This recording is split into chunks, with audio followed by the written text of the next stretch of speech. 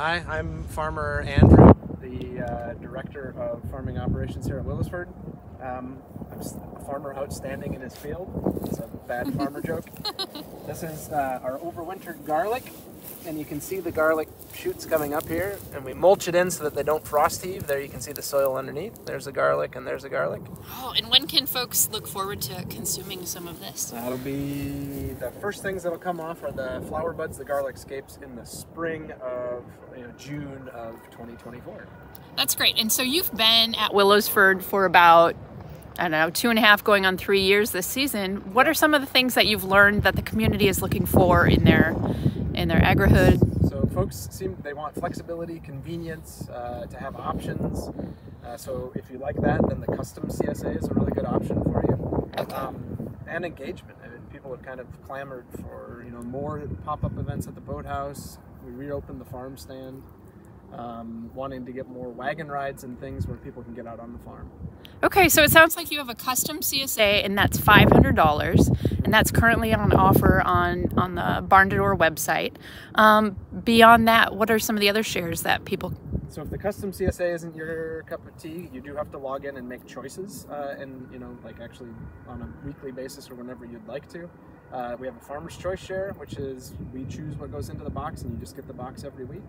Uh, we have a flower share from a partner farm. Um, uh, uh we have meat boxes from Ayrshire Farms, and you can get a la carte. You can just order whatever you'd like to. You can shop at the farm stand or shop at, at the pop up at the boathouse.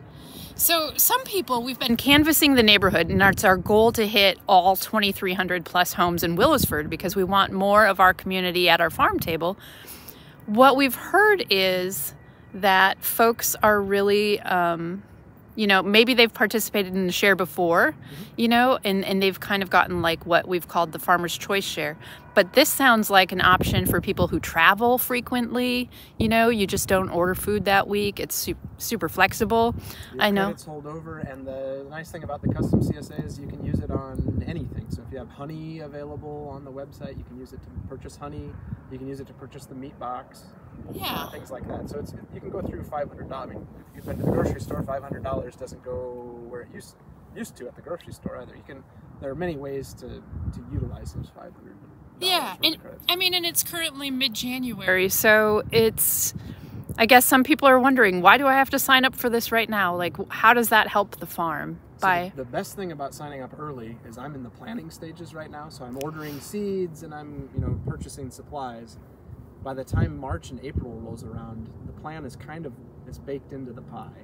And so it really helps uh, us to plan ahead to say, hey, we need to have X number of, of shares available to, for folks because we're not going to plant so much excess that we can accommodate on a minute's notice. Well, and it looks like what's sitting right there next to you is a share um, or some offerings that were, you know, available this week that are getting delivered actually by Anna today. Can you tell me or show us some of the goodies? Um, so this this is uh, a couple dozen eggs. So these are from our hens that are out on, on pasture out here to be moved on Friday. Um, delicious.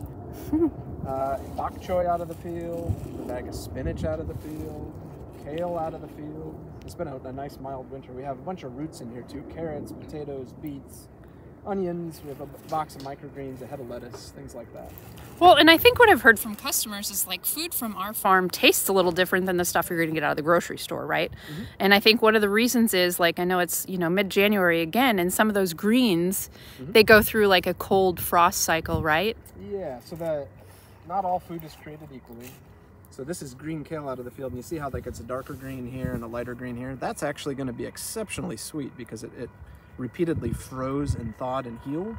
And sugar is one of uh, a plant's natural defenses against the freeze-thaw cycle, so it's like natural antifreeze.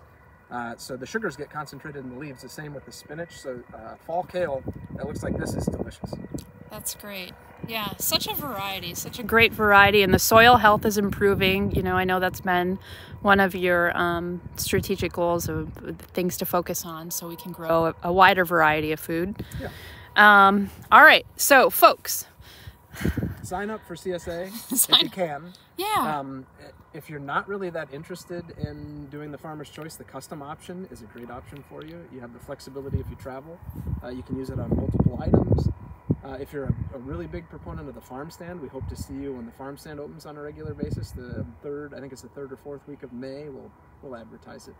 Um, but yeah, the, the more you get involved in the agrihood, uh, the better a place um, Willowsford can be. You know, volunteer, send your kids to farm camp, come to the farm stand, go on a wagon ride. You know, we'd love to have you at the table this year. We certainly would. So sign up for the CSA today. Again, that custom share is great for folks who travel a lot. Um, the egg share does sell out. So, you know, signing up early also helps ensure that the crops are planted just for you and you get access to them. So, all right. Thanks, Farmer Andy. Yep, have a good one.